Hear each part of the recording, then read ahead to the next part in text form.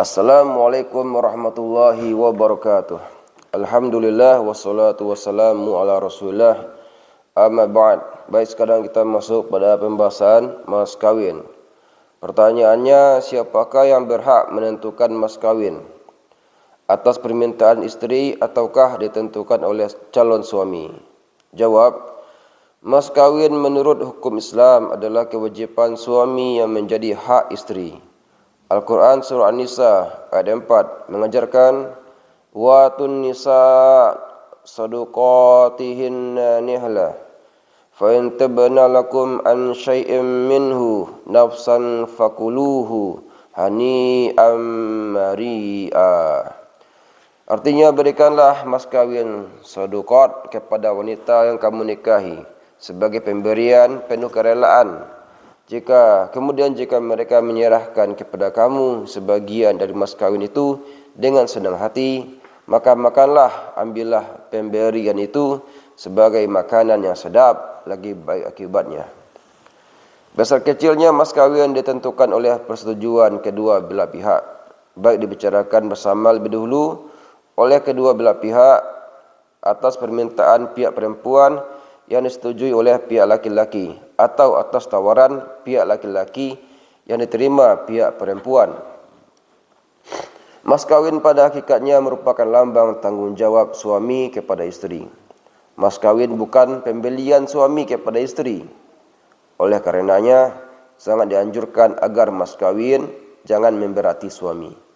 Hadis Nabi SAW, riwayat ada Abu Dawud dan dipandang sahih oleh oleh Al Hakim dari Uqbah bin Amir mengajarkan khairus sadaqi ai sarah.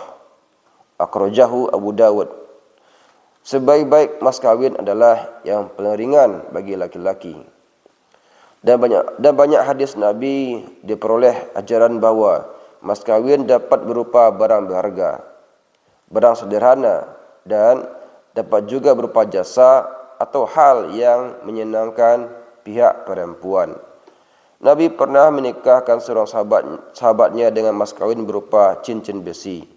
Wanita dari Bani Fazarah pada masa Nabi dinikahkan dengan mas kawin sepasang terumpah.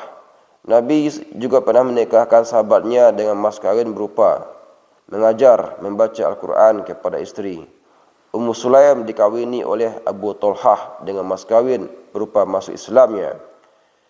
Ketika memindah Abu Talhah masih kafir, Ummu Sulaim bersedia menerima pinangannya jika ia masuk Islam. Dan masuk Islamnya itulah yang menjadi mas kawinnya. Perlu ditegaskan, mas kawin yang berupa barang. Betapapun besarnya adalah menjadi hak istri sepenuhnya.